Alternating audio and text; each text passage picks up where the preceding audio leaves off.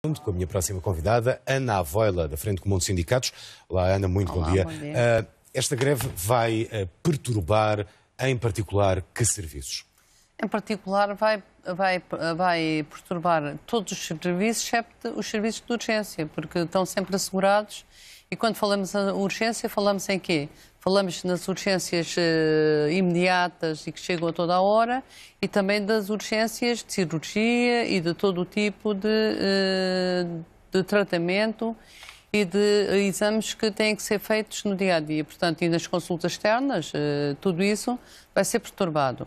Eh, fica intacto e fica eh, totalmente assegurado todos os serviços de urgência que são eh, importantíssimos e que não podem deixar de ser feitos e que nós propomos, aliás, somos nós que negociamos os serviços mínimos. Isso quer dizer que hoje poderá não haver consultas nos centros de saúde e nos hospitais?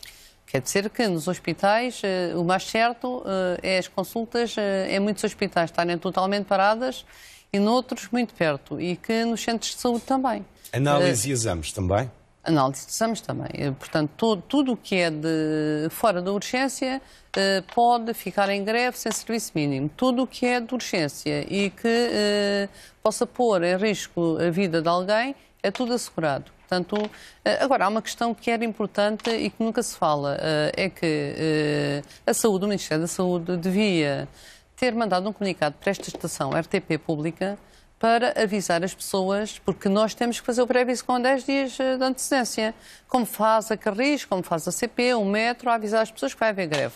Porque estamos a falar de questões muito importantes e as pessoas que se deslocam e que a responsabilidade depois vai sempre para cima dos trabalhadores quando nós temos que cumprir um prazo de pré-aviso para toda a gente saber. E não sabe porque é muito grande e porque o governo não se serve dos meios próprios para avisar eh, os utentes dos serviços. E isso é lamentável que aconteça e que vai certamente perturbar muita gente, mas que os trabalhadores não têm culpa nenhuma disso. Uh, Ana, quais são as motivações desta greve? Olha, nós uh, celebramos há muito pouco tempo, uh, pela primeira vez, um acordo coletivo de carreiras gerais na saúde, que era um dos objetivos da greve. Naturalmente que havia muitos objetivos para esta greve, que ela já estava marcada antes da assinatura. E, e o outro objetivo, eh, que é importantíssimo, qual é? É a criação de uma carreira para o pessoal assistente operacional, que é a carreira técnica auxiliar de saúde. Porquê? Porque estes trabalhadores que ganham, eh, começam com o salário mínimo nacional e que neste momento, desde 2008, tudo o que está a entrar, a entrar é com o salário mínimo nacional e que só, só agora que houve o descongelamento das posições remuneratórias e não é para todos, estes trabalhadores estão nas equipas formadas por médicos, enfermeiros, técnicos de diagnóstico, tudo com uma carreira específica. E estes trabalhadores não têm, porque lhe foi tirada em 2008 pelo eh, governo do então Primeiro-Ministro Sócrates. Não faz sentido nenhum.